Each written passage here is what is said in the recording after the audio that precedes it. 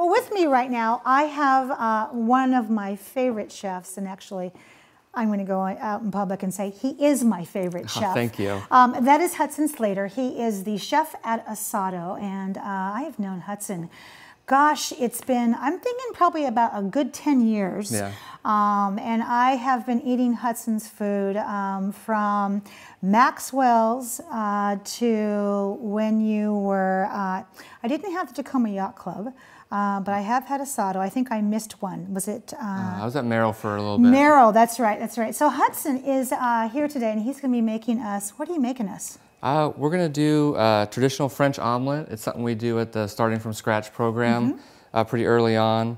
Um, it's just a simple uh, recipe, but it involves technique, so it's uh, something that kids can really grasp. And uh, just see them kind of mess up one and then do another one really well, and then they're just excited and go on with the rest of the class. I love that. So, as as a chef, um, I have often heard, um, and you can confirm or deny this, that um, when you walk into a restaurant and you're auditioning for a job, one of the things they have you do is they have you either make scrambled eggs or something with eggs because if you can do eggs, you know your stuff. Is that right? Right. Yeah. That's definitely a uh, way to just throw someone in. Uh, it's an inexpensive, inexpensive product. Yeah. And see if they burn the eggs or you know something like that. So it's definitely a, a easy test uh, to put them on the spot with. All right. All right. So, how do we get started here? Uh, so it's really simple. Um, uh, basically, we need two eggs. Uh, and then this kind the only time I use a nonstick pan is for omelets. Okay. And I use a plastic fork.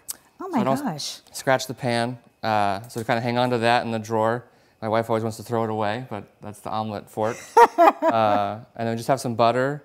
And then we're gonna make just, uh, uh, we're gonna add just a little cheese, um, just a little lemon zest and some chive uh, blossoms, just kind of fancy it up. But the All main thing we're gonna do is the omelet here. So, Okay. So, so go ahead and get started here while I pepper you with questions. Yeah, so we're just gonna turn our, our, little, our fire on over low heat. Sorry, a little technical difficulty here. There we go. Oh, there it goes. There we okay, we have heat. All right, so we're just gonna heat our pan up. I, I love this little tiny pan you have, which Yeah. which I think is probably key to what you're making, as opposed to like a huge skillet. Right. You, Go with something small. you wanna you wanna fill up the space of the pan with whatever egg you're putting in. So this is a good two egg pan. Uh, you know, the bigger you get, the more eggs you want to add. So we're gonna just go ahead and add some butter uh, to this. Oh, look at you, nice knife. Thank you. So Hudson, um, I have the pleasure of I've had the pleasure of talking to you about your background, about your family, about how you got started uh, making omelets, and I want to share some of my knowledge with right. um, our audience. So first off, did you go to culinary school? I did not. So I was able to kind of learn on the job. Uh, I fell f- kind of for cooking when I was washing dishes in high school, and uh, I just haven't really changed since. I've tried to get out, and it keeps bringing me back in. I love that. You, uh, when you were growing up, your um, your mom gave you uh, the kitchen one night a week. Is that right? Yeah. So she would. Uh, I kind of sparked some interest with the Food Network early on, uh, and she would let me cook at home, and we'd make. Uh, she, they would eat it. They were very kind. Now, now it's different. They're excited to eat my food, but Oh, I bet. Yeah. I bet. And so I remember your mom telling me when I put her on the spot um, what was the best thing you made, and I think she said pancakes. yeah. So Yeah. I'm still making pancakes. You're still making day, yeah. pancakes. And And- you have a beautiful family. Yeah. You have uh, three boys and one girl. One girl, beautiful wife. Uh, oh, incredible wife. Shout out to Miss Tanya. we you. love you very much. Um, and um, your second oldest boy, Declan, is interested in cooking, isn't he? They're all very interested, um, but Declan did show some interest after Taste of Tacoma, Okay. uh, seeing us on stage, and uh, we cooked a meal just recently together. I love that. I love that. Okay, so you got the butter in there. Now, is that salted or unsalted butter? Unsalted butter. Okay. We're gonna add some salt to it. So we're just gonna get this butter to kind of start bubbling, and uh, that gives us time to uh, whisk our eggs. So you just wanna whisk it pretty vigorously with the fork um, until all the white is incorporated with the yolk, and uh, you start to see the bubbles uh, happening in the in the bowl here. And uh, the key is to not have your pan too hot. So you want the butter to start bubbling, but not to start browning. We don't want any, we'll try to avoid any color on the eggs. There we go. That's kind of the idea. So we're just going to move the butter around uh, to help, help with that non-stick um, on the pan there. You can use a nice, well-seasoned uh, cast iron. Yes. Uh, will work. Um, but uh, having one non-stick pan uh, that you only use for eggs doesn't hurt. Especially if you're just learning, isn't it? Yeah, definitely. It's very forgiving. It floors me that you're using a plastic fork. yeah, so this doesn't scratch the non-stick. There we go. So, and since we're doing low heat, um, we're good to go. A wooden fork would work well. Okay. Uh, so we kind of hear it a little bit starting to bubble. Okay. We've got our, our whisked eggs, and we're going to add to the pan. Nice. So Hudson, for, for people at home that are, that are watching and, uh, you know, we were talking about your segment uh, uh, from scratch and, and really teaching young people how to cook. Um, what advice do you have for parents that have uh, a Hudson Slater in their midst who, who wants to cook?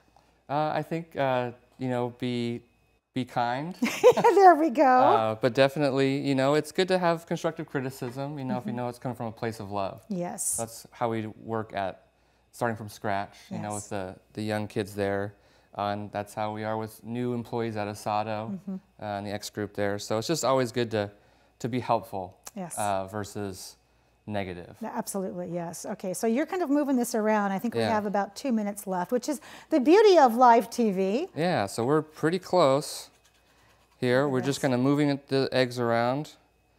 Uh, and we're just going to fill the space. We scrape up the eggs, kind of make it light and fluffy.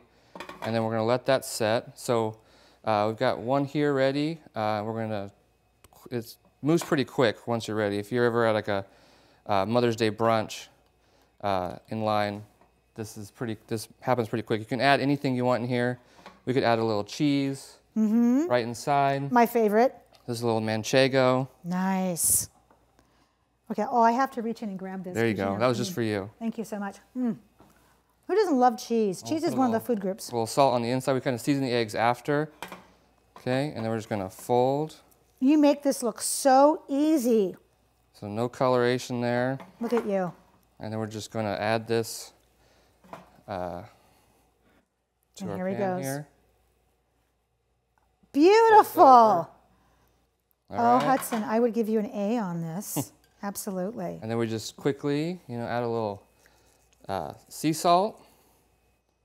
We'll just do a little fresh lemon zest, kind of perk it up. Beautiful. And then just a little chive blossom from the garden. This is that time of the year. Yes, it is. Oh my All right. gosh. And That just a little incredible. more uh, cheese over the top. And you're ready for breakfast. Hudson, where can we find this recipe? Uh, this recipe, I mean, honestly, if you just Google the perfect French omelet, Okay. it'll pop right up. I love that. Um, you can reach out to me at Asado. Yes. Uh, and I can and uh, get that to you as well. yeah, go into Asado and experience all that is fabulous that has your signature on it. I got to there's tell some you, tradition there with the wood-fired grill, uh, and then we're making some changes. Uh, uh, lots of new specials coming out, so there's uh, some really great things happening at Asado and the X Group. I love that.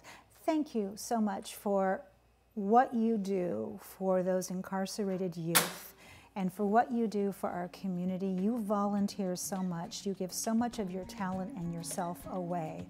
Um, I'm honored to stand here next to you, so thank you so much. Hudson. Thank you for having me. My pleasure. My, privilege. pleasure. well, that wraps up another great segment of CityLine. It is always a pleasure and a privilege to be in your home. We've given you some really great things to think about in this past hour, so please go out there, be a part of the tapestry, and above all, pay it forward. And when you come back, as always, we'll be waiting for you right here at CityLine. Take care.